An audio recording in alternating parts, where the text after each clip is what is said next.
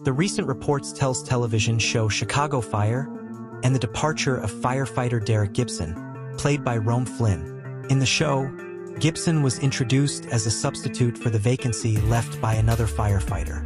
However, he later revealed his past and admitted to accidentally killing his opponent in a boxing match, which led him to leave the sport and become a firefighter. In a recent episode, Gibson was forced to take a leave of absence due to a substance abuse problem.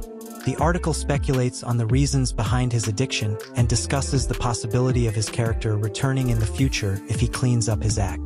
Additionally, the article mentions the departure of another character, Lennox, and the potential consequences it may have in the future. The show airs on Wednesday nights on NBC. Subscribe